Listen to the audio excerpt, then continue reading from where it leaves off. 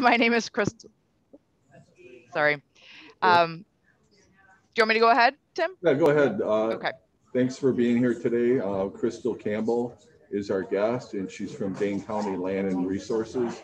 And she's gonna give us a tutorial on, on water and I think some stormwater stuff. So we appreciate you being here. Sure, no problem.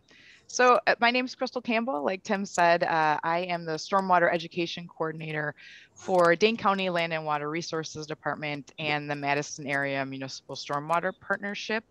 And just to give you a little background on, uh, especially we call it MAMSWaP. Uh, the Madison Area Municipal Stormwater Partnership is just a partnership of about 21 municipalities, of which Stoughton is one of them. We are all part of a common stormwater um, stormwater excuse me, permit. So a part of a group permit and that has common um, stormwater requirements that all these municipalities have to meet. Uh, one of them being uh, an education and information requirement. So to do some education and outreach uh, to engage the community and and others, businesses, contractors around stormwater issues. So uh, that's that's kind of my role uh, for Dane County, and uh, really to also develop outreach campaigns and programs that our municipalities, again including Stoughton, can use and can implement and modify um, locally. So we're going to be talking a little bit about um, primarily about uh, leaf-free streets for clean waters today, uh, the our fall our fall campaign and program. But I'll also kind of touch upon some of our of our other other programming that we have uh, available um, to people like you and to our municipalities. So really, the goal of, of our, our group is, uh, is to reduce stormwater, so the quantity of stormwater that gets into our lakes, rivers, and streams, and also to improve the quality of the stormwater that makes its way to our lakes, rivers, and streams. So um, if you don't know much about stormwater um, in this area in Dane County, all of our water that ends up in our storm drains, uh, down our ditches, um, that all ends up in our lakes, rivers, and streams without being cleaned. We have a separate storm sewer system here, or separate sewer system uh, in Dane County and most of Wisconsin where our sanitary sewer is separate. So our water that we use inside that flushes down the toilet that we use in showers uh, goes to the wastewater treatment plant first and gets cleaned before it gets discharged back into our um, streams and our rivers. Uh, and then our sewer system, our storm sewer system is separate. And whatever ends up in our storm sewer system through our storm drains uh, does not get cleaned before it ends up in our lakes, rivers, and streams. And we're really trying to uh, do our part to, to keep that water as clean as possible and keep our lakes, rivers, and streams clean as possible, not only for the aquatic life that lives in there, but also um, for all of us and uh, for recreational purposes. So just a little bit of background on stormwater. All right. Oops. For some reason. Okay, did it click over to the next slide? I was lagging here. Uh, yes. It did. Okay. So before I start uh, talking about uh, our Leaf Free Streets program, I just wanted to give you a little background on leaves and and what the issue is with leaves. Why is it? Why are leaves bad for water quality? And um, this is uh, just a little background on on a USGS City of Madison leaf study that we were involved with, uh, MAMSWaP was involved with, and Dane County was involved with.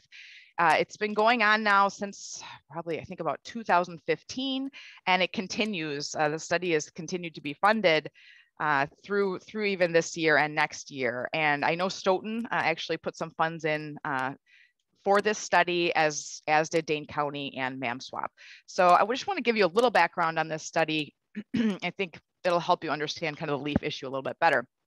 So uh, through this study that happened in Madison, uh, the goal of the study uh, was really to determine if removing leaves from the streets um, can help improve water quality and reduce nutrients to our local waters, so our lakes, rivers, and streams. And the nutrient we're really, really concerned about, uh, and you probably know this already, but it's phosphorus. So phosphorus uh, is something we're really, really trying to keep out of our lakes, rivers, and streams because it's it fuels algal growth and um, and plant growth.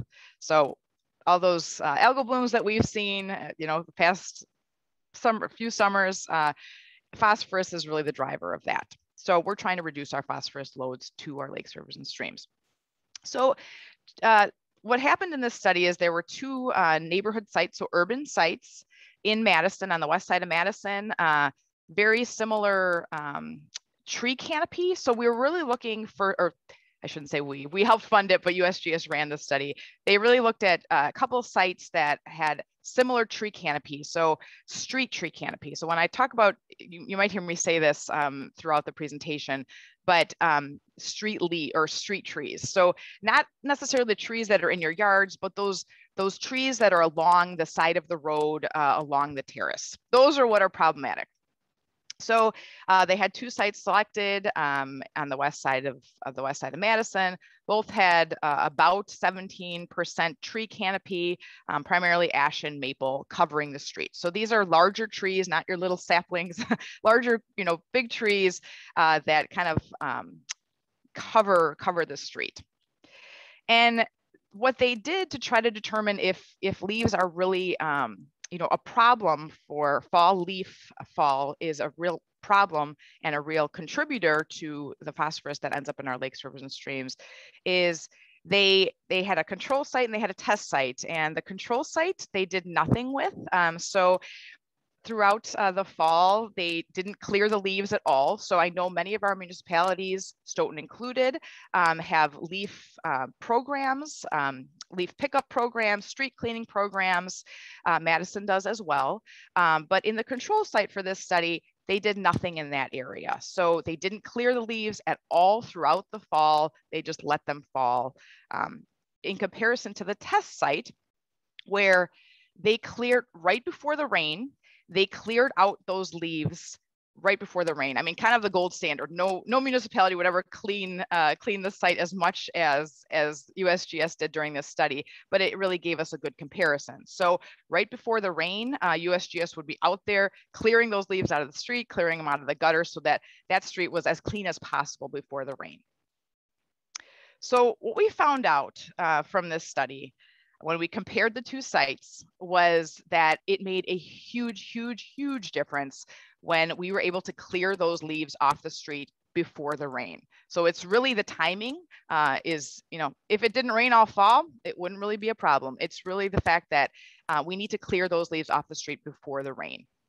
So um, what happens if you don't, if you don't kind of know what happens uh, when the rain falls, it goes through the curb line, right? It all that rain collects in the curb line. That's how streets are designed. And the problem is, is that yes, the, the leaves do clog up the storm drain sometimes, and some of those leaves actually get to our lakes, rivers, and streams, but it's not the leaves themselves so much that get there. It's the fact that the water flows through these leaf piles in the curb line, and it creates this leaf tea, we like to call it. And that leaf tea is rich in phosphorus. So, and worse yet, it's rich in dissolved phosphorus. So dissolved phosphorus is like candy for that algae. Um, and it's really, really high in dissolved phosphorus. So what we found when we did the, um, the leaf study is when we compared the area that had no leaf removal whatsoever with the compare with the area that you know had the gold standard had had the leaves cleared out right before the rain eh, before every rain event there was a huge huge reduction in phosphorus so if you kind of look at this top and I don't think you can see my cursor. Can you see my cursor here if I'm, no, okay, you can't, okay. Um, so you can see, and they actually, they actually uh, monitored uh, the water quality from April through November. Um, and you can see there's not much change here from April through August through September. It's pretty much the same. And yes, there's some phosphorus that comes from uh, grass clippings, but those don't really end up in the street as much. Um, what we saw though, come September through November, was that when we compared the area, so orange is active leaf removal. Again, the USGS cleared those street leaves, that the phosphorus levels were so much lower compared to the area that had no leaf removal. Um, and you can kind of look at it down here um, when you compare kind of this, and again, it's seasonal here, but you compare the concentrations in the spring and the summer, they went down a little bit. Um, but when you compare the fall concentrations, they went down tremendously um, when we were able to clear those leaves out of the street before the rain. Uh, I, so this is kind of our proof and our, and our data, and we love data.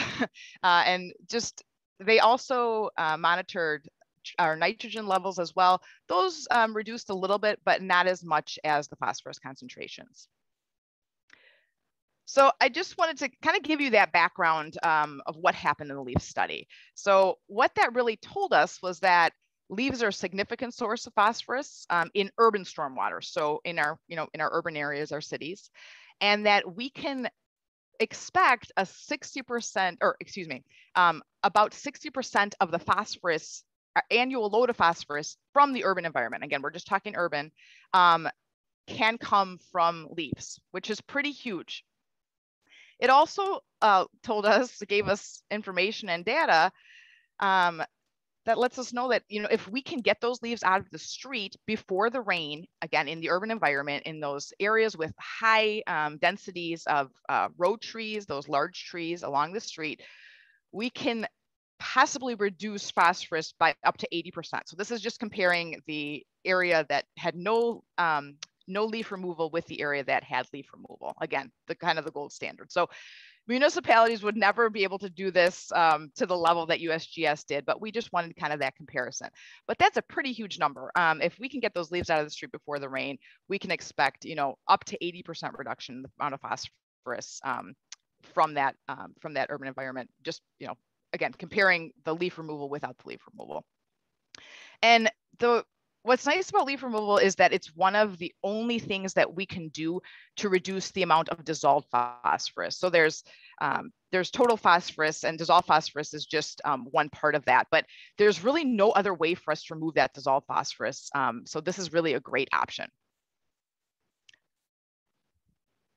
So we used all this information and you know this is this has been great information for us because we actually have the numbers and the data to support this now and uh, so we use this to develop our, um, our outreach campaign called Leaf Free Streets for Clean Waters. And the goal of our outreach campaign uh, and this program is to really um, engage residents in getting leaves out of the street before the rain because we know what a difference it can make. So your municipalities are actually doing a really great job. I know Stoughton has leaf removal. I know they use the vacuum truck, I believe, Tim, uh, to remove those leaves in the fall, which is awesome that you put kind of on, um, on the terrace. Um, so that's really great. I know you use street sweeping as well or street cleaning. Uh, so again, trying to keep those streets clean to make sure that um, whatever's on those streets, including the phosphorus um, and in debris and sediment uh, doesn't end up in our lakes, rivers, and streams. So municipalities are doing what they can, but they can't get out there every, you know, right before every storm event. And that's really, that's the critical time. Um, so we've, we've developed this campaign called Leaf Free Streets for Clean Waters um, to really try to engage residents, especially in those areas. So this is kind of a targeted, uh, targeted campaign. Um, you wouldn't, you know, we wouldn't push this campaign in a more rural area or maybe on the outskirts of the city where you're a new development where you just have these you know little seedlings um, along the uh, or saplings along the street um, but we're really it's really encouraged um, in those densely populated areas or um, kind of older areas with those dense that dense tree cover with those large row trees uh, is where we're really trying to push this campaign. So based on this research, we are actually trying to encourage people to actively remove those street leaves before the rain. And we've kind of developed a campaign and tools around this. Uh, it's called Leaf Free Streets for Clean Waters, and we have um, we have a whole website on it. It's on ripple-effects.com.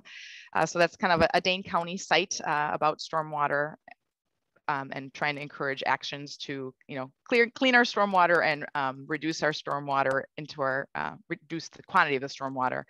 Uh, so this is what it looks like.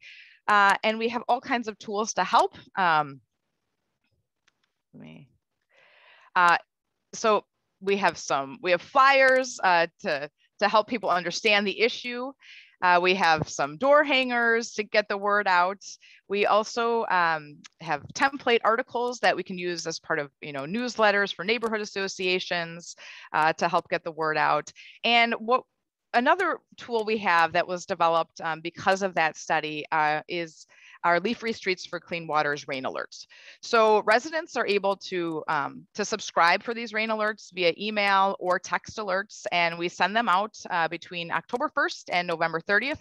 That's the only time we send them out. Um, I'm the one who kind of monitors the weather and sends them out. But when there is a substantial rain event forecasted, um, we send out an alert about one to two days before uh, before the rain event is expected, uh, just as a reminder saying, you know what, it's time to clean those leaves out of the out of the streets uh, if you can. It's the rain's coming. So uh, that's another tool that we've that people have found very useful and helpful. We actually did a pilot uh, study right before we launched this uh, back in 2016, I believe, with the city of Middleton um, to see people's willingness to do this. And one of the um, one of the comments we got back was that these alerts were really helpful. Um, and you know the fact that they only came between October and November we weren't flooding their emails we weren't texting them constantly um, they were just very timely and just nice reminders to have. So that's and that's one of the tools we have available as far as leaf free streets for clean waters too. Uh, so i just wanted to kind of share some of this information with you um, and we have a whole partner resources page if you want to get involved. Uh, if you need resources outreach tools uh, want to sign up for the for the leaf free streets alerts you can do that all from um, from this website any questions before I kind of move on to a few other initiatives we have going on? Any questions from anybody? Not so far, you must be doing good. Okay. One other uh, tool we do have that I didn't mention, and you may have seen these around uh, Stoughton because we partnered actually with uh, with the city of Stoughton as well as Sustainable Sustainable Stoughton. Uh, we have um, yard signs as well. Uh, again, the effort is really to try to um, get the word out there and encourage people to really remove these street leaves. Um, but this is what they look like. Uh, they have all the logos from the city of Stoughton and Sustainable Stoughton on there, and they're customized to each municipality.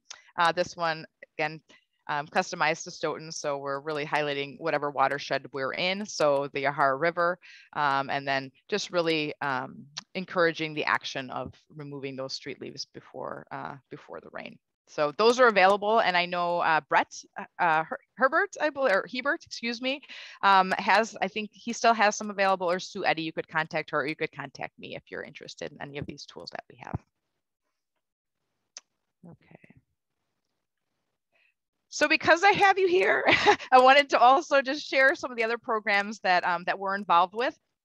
Um, and not necessarily in the fall, but um, in other seasons uh, throughout the year. So uh, in late winter, early spring, one of the one of the things we really try to encourage um, and promote is the use of native plants and rain gardens. Um, actually, putting in rain gardens to harvest rainwater and help it to infiltrate rather than have it run off. Uh, that's a great stormwater tool.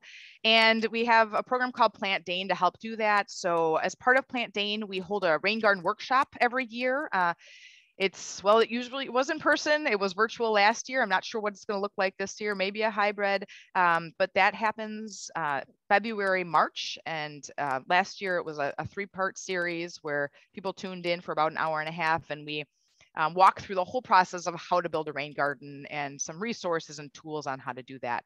So we have a workshop as part of Plant Dane. Um, the big part of Plant Dane is our, our native plant sale. So we partner with Agrecol down in Evansville and we're able to provide native plants for um, for, for pretty cheap. They're 225 a plant and you have to order them in, in, um, in packs of four. We have about 50 species available. So again, that's, that's an option. Um, again, trying to, trying to reduce the barrier to, um, to planting native plants um, by kind of covering some of that cost. Um, there's also a free native plants program where school and community groups can apply for our grant program to receive free native plants and um, use those for native gardens or rain gardens. That's part of the program as well. So that's something that's coming up. Um, we usually launch the Plant Dane plant sale in, in February. Again, the rain garden workshop is in February and March uh, and then you receive your plants in, uh, in late May, early June. So um, stay tuned for that if you're interested.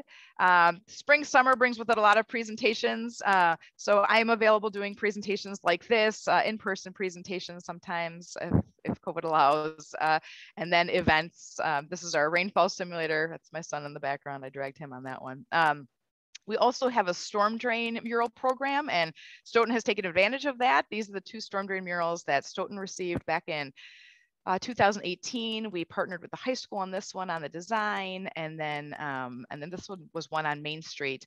Um, they they usually only last a couple years. So I don't think we've repainted these yet, but that's something, um, Tim, if you are interested in having those repainted, uh, we can try to do that next year in uh, 2022. You can apply for a repaint. So that's been a really great program to engage, uh, especially school groups and, and other groups. Uh, the goal of that program is really to highlight storm drains.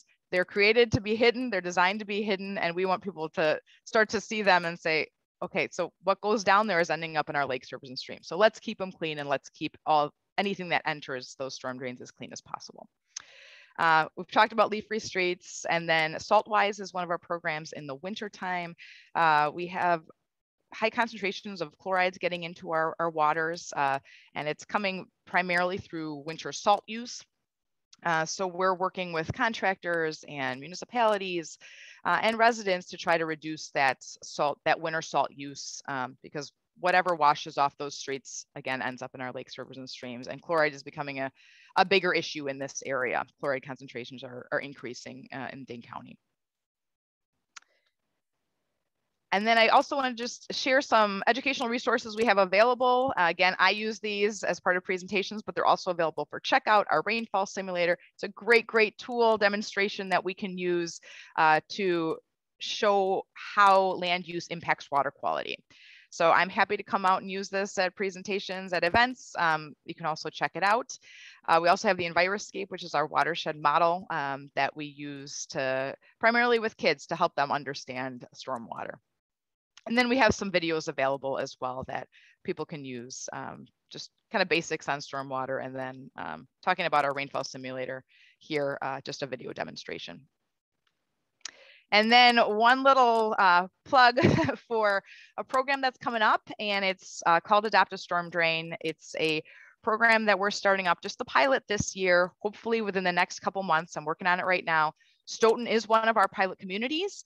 Um, so we are encouraging people to adopt a storm drain in front of, you know, in front of their home near, near them and keep that storm drain clear. So not only to prevent flooding and to prevent, you know, clogging of storm drains, but also to make sure that, um, you know, things that aren't supposed to go down the storm drain aren't going down the storm drain. So we're asking residents to adopt a storm drain near them and keep that keep that storm drain clear. So uh, that's something that's coming up um, in the next, hopefully month or two, uh, we'll be launching that in Stoughton. So if that's something you're interested, interested in, please contact me.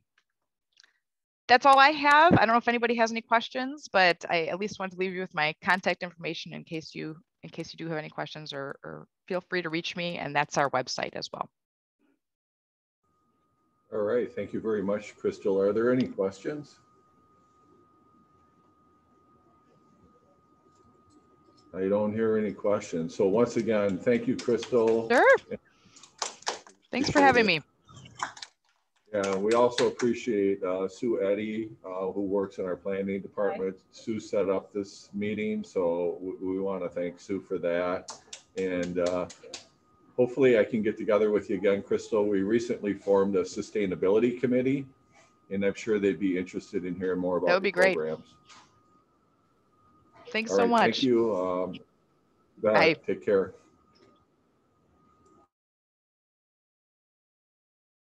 So while we're transitioning, I want to give Sue an opportunity to tell you what Sue does on a daily basis. I'm going to put her on the spot. Oh, we didn't rehearse fine. this. So I'm the engineering technician for the city.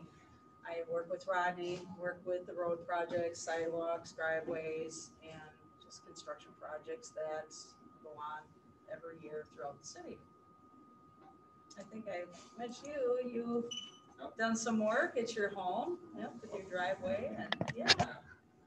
So, and I also work with Crystal with the stormwater, the importance of stormwater and the pollutants and trying to keep them out of our lakes and rivers and streams. So, yeah. Do you have any questions for Sue? All right, so I'm gonna switch things over here. Put up my stuff here. It'll just take me a second to find everything. It's let me do that.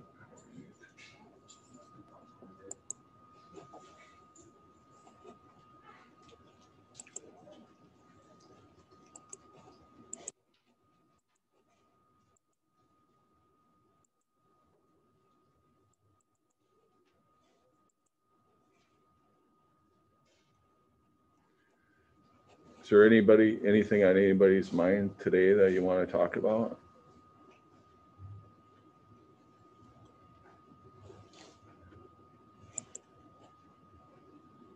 All right, it's not letting me minimize my screen, so I can't put up my stuff. Interesting. Well, anyway, um, you know, there's been a lot of activity in Stoughton here. Um, city council next week, we're gonna be talking about the riverfront development with Kurt Brink. Um, when I came in this morning, we were finishing up on a conversation to talk about uh, where we're at as far as a developer's agreement and an offer to purchase and then this TIF request. So we'll be taking that to, to finance committee and then to the city council on Tuesday night. It's already been through the RDA, the redevelopment authority. And we have their blessing. So we believe that that project will move forward in the spring. Um, as well as some other work that would be included in that, which would be some stormwater work, some trail work. And then hopefully, um, you know, we'll, we'll be, uh, putting the bridge from one side of Mandt Park, uh, into the development next year. Um, We're also working on, um, developments with Kettle Park West. Kettle Park West is out behind Walmart. They're working on phase two. There's about just over two hundred single-family homes there. They've been partnering with, uh, a national, national builder. And we're hoping that uh, we'll be seeing some uh, building permits pulled here um, in the next month or two. They're looking at starting up probably about 20 some uh, single family homes this year. And then um, some more, a couple dozen maybe next year, and then some more in 2023. And they're looking kind of even above and beyond that development to a phase three. So they're they're really ambitious out there. Um, they've also been working on putting together plans for the, uh, some lots next to Walmart across from, uh, Kettle Park Senior Living and the Hotel. And, uh, we've been told that the one retail shop that's gonna be in there is gonna be Emilio Sub Shop. And then the other retail location that's gonna be in there is gonna be a Sherwin Williams Paint Store. So we're, we're excited to see them get started on that project. There's some things they have to work through yet, but they're at a point where they have some people under contract. Probably noticed the Shopko Optical opened up out there recently. So that's uh, next to Dunkin' Donuts. Uh, We're hearing that uh, the Starbucks could open within the next month or so out in front of Pick and Save. And then the work has uh, begun over here on what was used, used to be the Marathon gas station site. Um, so there'll be two fourplex apartment units that'll be going up there. Um, ho- they're hoping to have the- those project, that project completed, you know, yet this year. They, they have a lot of work to do, but they're doing some site work now. So we're excited to get, see that moving ahead. City council also, um, decided to move forward with the final design on the water park down at Mandt Park, which involves the dam. So as I explained at past meetings, um, we've done three designs now. The first design was to put a water park in with the dam in. And after some deliberation, it was, it was, uh, concerns were raised about bringing people into harm's way with the dam being there.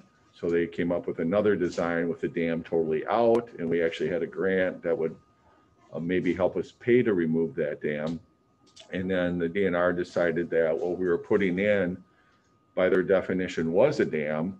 So based on that, we decided to rescind that four hundred thousand dollar dam removal grant and then do a third design. The third design um, leaves a cement platform in the water. So when we design the water park, the water level drop, um, instead of being about five feet under normal conditions, will only be two feet. And we feel that that's a better situation um, down at the mill pond and, and really up, all the way upstream. When we did the third design, we also uh, did water flow levels all the way up to Lake Kegonsa. That was one of the concerns that was brought up by the residents in the town of Pleasant Springs, that on the initial two designs, we did not do any water level data um, on those um, designs. So we did that for the third design so we could understand what the water levels would look like under normal conditions, under high flow conditions, and under low flow conditions, such as what we've had this year.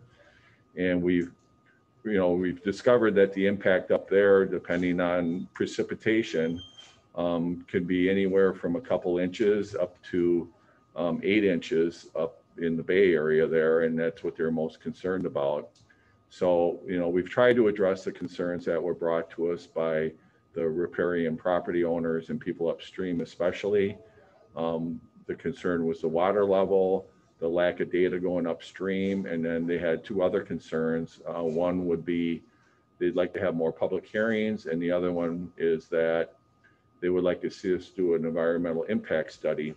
So we have another grant in for this dam reconstruction, and that's a federal grant. And if that's approved, we will be required to do an environmental impact study, which will address one of the concerns that have been brought, whether or not the wildlife will change better or worse or the same. And then the other one would be is if we receive that, the grant, and as well as when the DNR gets to the, the part where they're approving our final design, more than likely, there's going to be a public hearing that will be um, required for each of those steps. So we've really worked hard to try to address the concerns of folks upstream. Uh, we understand that not everybody is going to be on board with this program, but we believe that um, doing the dam reconstruction is the best thing to improve the water quality. Uh, right now, the water is stagnant. It, it's basically holds bacteria. Um, it also allows us to address sediment that has been contaminated over the years by capping that, which will increase more parkland, give us more trail opportunities, improve fishing. Uh, working with Dane County, it'll also give them more flexibility on flood control. With climate change, we believe that um, based on the based on the expert studies that uh, we'll have more heavy rain events. And when we do, you know, Dane County has a project going on that uh, will be dredging the river, uh, making it deeper and wider along the channel. So if we do have a heavy event like we did in 2018, the water will be able to flow faster all the way down to Stoughton. And that will help uh, alleviate the, uh, the backup that occurred on the isthmus. So it's a real uh, you know, ambitious effort by Dane County, but we also believe that's the right thing to do. I know there's some concerns that, you know, the city should be working with the county on their program. I would basically say that if people have them concerns, they should be, you know, talking to the county and not to the city um, about their project. We're, we're focused on ours. They're focused on theirs. We think they'll be mutually beneficial um, long-term for the for the health of the river and for really flood control and damage control in the Madison Lakes cause as they back up. So that's where we're at on those issues.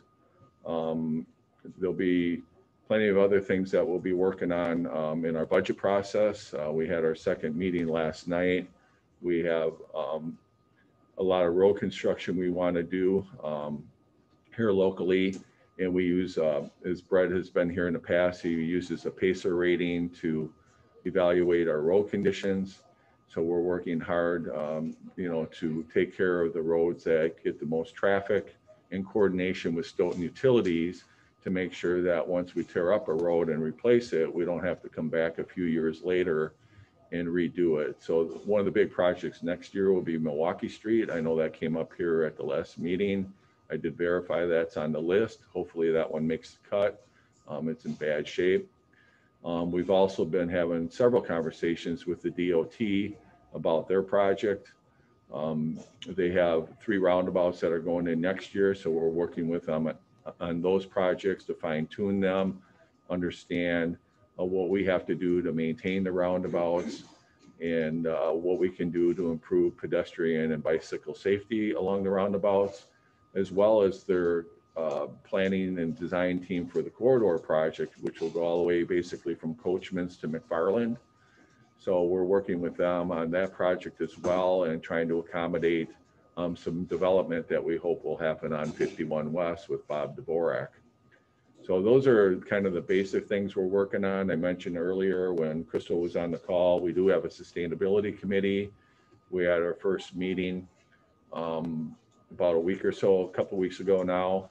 And we have nine community members and two city council members, and the community members all bring expertise to that committee. So we're really excited about the possibilities of putting a plan together. Um, I reached out to um, a person that had helped us do a strategic plan for the Stoughton Opera House and for the um, Chamber of Commerce. And she connected us to somebody that was recently hired by Dane County that could help us put together a survey to really understand what's important to community members as far as sustainability and also to help educate people about the concerns we have, such as what we just saw during Crystal's presentation. So we're really excited about where that's going to go. Uh, we recently had two listening sessions on racial equity. So we had an opportunity to hear some stories from people that have had bad experiences in the past. Um, by listening to their stories, we can kind of learn from them and figure out what we can do moving forward um, to make sure that people are treated, you know, respectfully within our community and what we can do to provide opportunities to really not just people of color, but all people in general in Stoughton. So really a couple of things that really come into play when you talk about that. Um, to me, one of the main things is is affordable housing. Um, you know, having a, a, stable home life is really critical for for people um, to be successful, especially students in their classrooms. So we're working with Habitat for Humanity to put up four duplexes over on Lincoln Avenue. And then we're also talking uh, to Bob Dvorak about possibly putting in some some workforce housing in this project out on 51 West on the west side. And then we're working with a local group called the HATS, which is a housing advocacy team of Stoughton. And they're trying, they're working on providing uh, rental assistance for those in need and try to help people that may have um, may have had some challenges in the past with their with their landlords to really help them clean up their record so they can uh, secure um, rental and then you know long term you know hopefully they can they can uh, eventually buy a home here in Stoughton. So we're, we're trying to put together some strategies to, to help people in need and help people be successful in our community. Um, you can see around the senior center, we've been doing some work here in the parking lot. That's probably going to be a couple more weeks. Um, they ran into some surprises when they started uh, grinding out the surface out here on the parking lot. And we took a look at it and said, we're going to have to invest a little bit extra money in order to do it right. We don't want to put it back together and have to deal with it again soon. So there's going to be probably a delay in finishing the project, but hopefully uh, they'll get it done here in the next couple, three weeks. And then that'll be ready before the snow flies. Um, I think that Crystal also mentioned the leaves. That's going to be something that's going to be coming soon. One of the points I wanted to make uh, regarding our presentation is that the programs that we work with with the county helps us secure grants for some of our equipment. And part of the part of the deal is is in order to secure them grants, we're required to pick up leaves so many times a year and and commit to other strategies to try to reduce phosphorus in our community.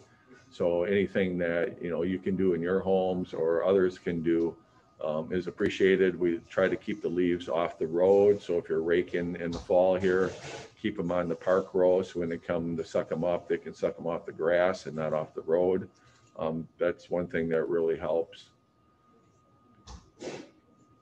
So that's pretty much all I really wanted to cover unless there's any questions today. Anybody have any questions? You're kind of a quiet bunch today. All right, well, once again, I want to thank Sue for, we're setting up the presentation from Crystal. And uh, next month, the plan is to have myself and Dr. Onsager and uh, Dan DeGroot from Stoughton Health here as well. So we're hoping to have the three of us here. Um, and then uh, if anything comes up before between now and then, you know, feel free to reach out to me. I try to make myself available to answer any questions um, in case there's something out there that's bugging you or you don't understand. Uh, you know, that's what we try to do is is, is respond to concerns and, and address them as best as we can. All right, well, thanks again for the senior center and with, uh, especially Holly Camacho for helping us set up our, uh, our IT today and also our IT department was very helpful. So hopefully, uh, this recording will turn out and we'll be able to, to air it. So thanks again for being here.